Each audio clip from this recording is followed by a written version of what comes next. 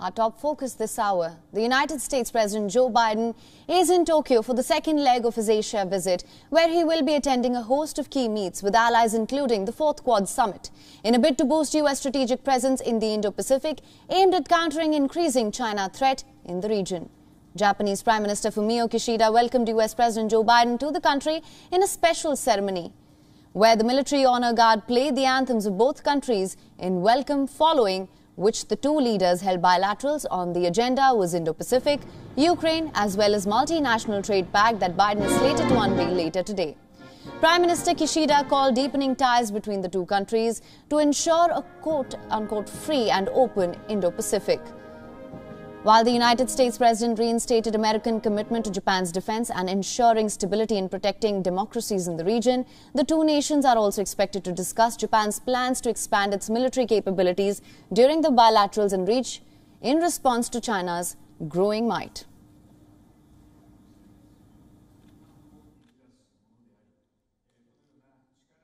The U.S. Japanese alliance has uh, long been the cornerstone of peace and prosperity in the Indo-Pacific. And the United States remains fully committed to Japanese, Japan's defense, and we will face the challenges of today and the future together. The two leaders also spoke about the ongoing Ukraine war. President Joe Biden thanked Japan for its stance against Russia and said that Putin must be held accountable for the war crimes committed in Ukraine. In a strong statement, Prime Minister Kishida also said that the powers in no way can allow for change of status quo by force in any part of the world. ロシアによるウクライナ侵略は国際秩序の根幹を揺るがすものであり、このような力による一方的な現状変更の試みは、世界のどこであっても絶対に認められないと考えています。The two leaders also discussed the multinational trade pact that Biden will launch later today. The Indo-Pacific Economic Framework of the IPEF is a program to bind countries closer through common standards in various areas, including supply chain resilience, clean energy, infrastructure and digital trade the IPEF is unlikely to include binding commitments. Remember, the United States currently lacks economic pact in its engagement in the region after former President Donald Trump withdrew from a multinational trans-Pacific trade agreement in 2017. Earlier in the day, Joe Biden met with Japanese Emperor as well, Naruhito at the Imperial Palace, and the two leaders exchanged greetings wearing masks before holding talks at the palace. White House said Biden offered greetings on behalf of the American people, highlighting the strength of the U.S.-Japan relationship anchored by deep people-to-people ties.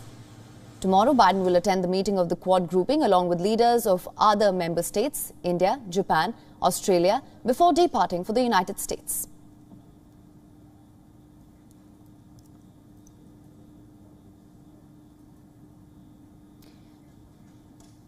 And for more on this, joining us live right now from Tokyo is Professor James D.J. Brown, who's an Associate Professor of Political Science at Temple University.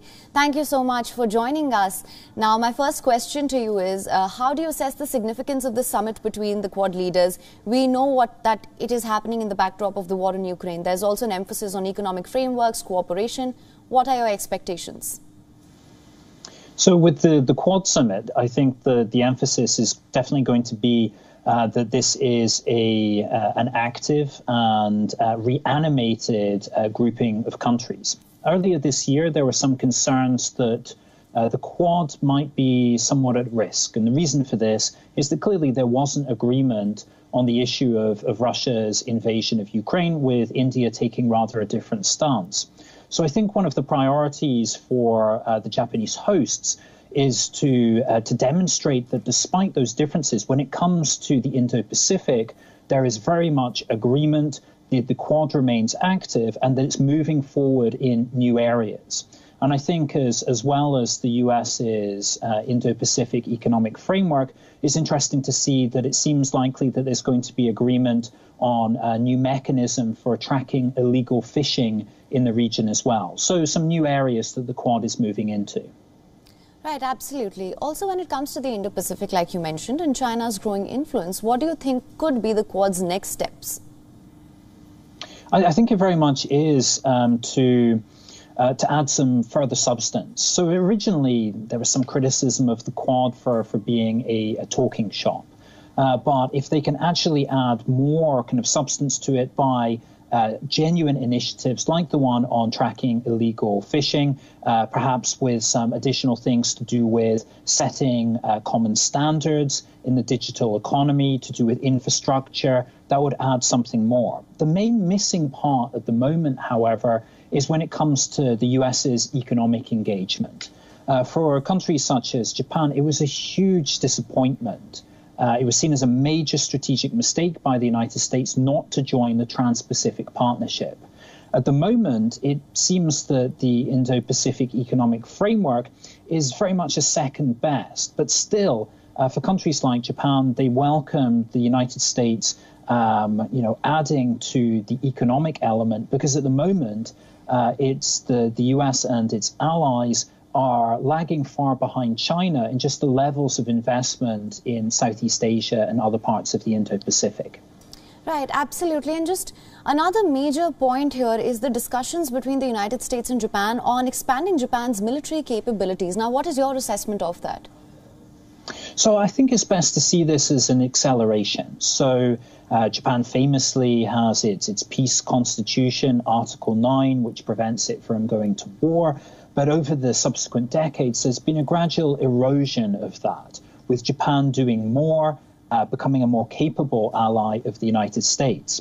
But with Russia's invasion of Ukraine, it's really driven home to Japanese policymakers the extent of Japan's insecurity. Uh, at one point, it could rely exclusively on the United States. That was enough. Now the US is still seen as an absolutely vital partner, but Japan needs to do more itself. So that process of Japan um, really becoming more of a kind of normal security actor, stretching the bounds of those constitutional restraints and moving into new areas, that's really moving forward more quickly. And so the thing to, in particular, look out for is Japan increasing its defense spending, taking it up to uh, around 2% of GDP, and also uh, developing capabilities such as counter strike capabilities to actually hit targets in foreign countries. All right. Well, Professor James D. Thank you so much for joining us with your analysis of this.